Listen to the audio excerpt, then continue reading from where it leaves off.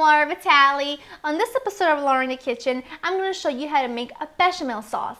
It's a white sauce that's usually used for things like uh, macaroni and cheese or different parts of Italy use in their lasagna. Um, it's just a really simple, thick white sauce and today I'm going to show you guys how to make it. So the ingredients for this, it's super simple. You're just going to need some whole milk, some all-purpose flour, some butter, some fresh nutmeg, salt, and white pepper. Now, if you can't get white pepper, you can just use regular old black pepper. But my mother makes this killer pasta bake that I'll show you guys in a different episode using this sauce. And every time she makes bechamel, she always puts in white pepper. So that's just what I'm used to, uh, which is what I'm using today. But like I said, you can use black pepper. I won't judge. So let's go to the stove so we can start cooking. Action. In a small saucepan over medium heat, I put in just my four cups of whole milk. I want it to be nice and warm in this one, right next to it, I added my butter. and I'm letting that melt. That looks just about perfect. Now to the butter, doesn't have to be melted all the way. I'm gonna add in my flour. This is just regular all-purpose flour and it's equal, equal parts to make a roux. A roux is nothing but a thickening, thickening agent. What we're doing is just mixing this together and cooking it for about a minute, just until the raw flour is kind of like disappeared into the butter and there's no more lumps. So, but just keep stirring. Very important to keep stirring so that there's no sticking or no burning involved. Now that we have our roux nicely cooked together, and as you can see, there are no more lumps, we're slowly going to add in here as we stir our warm milk, little bit at a time. And it's gonna start clumping up at first, but as you pour in more milk, I'm actually gonna crank the heat up to this to medium high. As you add more milk, it's gonna get more loose. So just keep doing that until you have all the milk incorporated into the roux. I've added all my warm milk and I'm just switching to a whisk and I'm gonna whisk this until it gets nice and thick.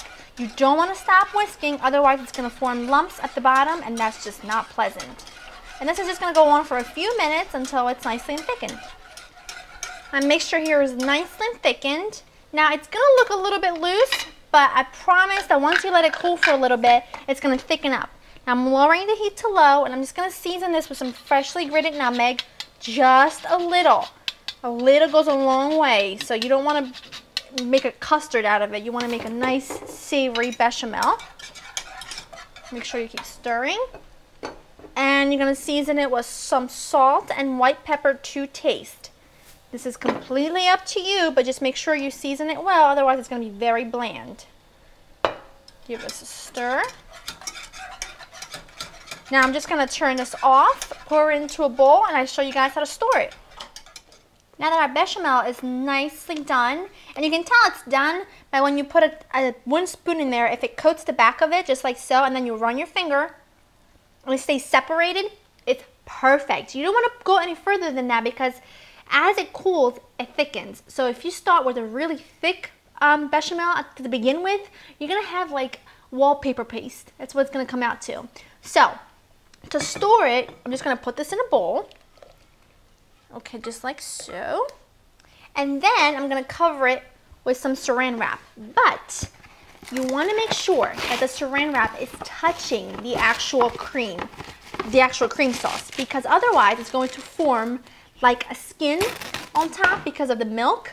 And we want to avoid that because that's not very appealing. So just take your saran wrap and just scooch it right down in there until it's touching the cream.